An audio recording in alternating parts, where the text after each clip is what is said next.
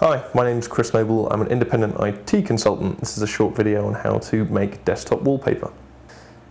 Desktop wallpaper is basically nothing more than an image stored on your computer.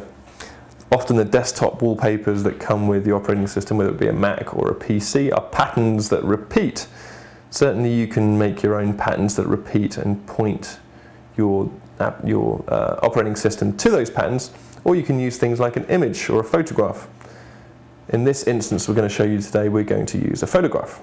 Just open your system preferences for your desktop and instead of using one of the options that came with the operating system, you can click the little plus and tell it to look for a desktop wallpaper in a different location.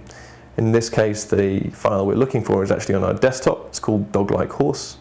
We'll click on that and then the desktop will change to that image, which is an image that I use for my website. On a PC, Microsoft made it very easy for you to change your desktop wallpaper.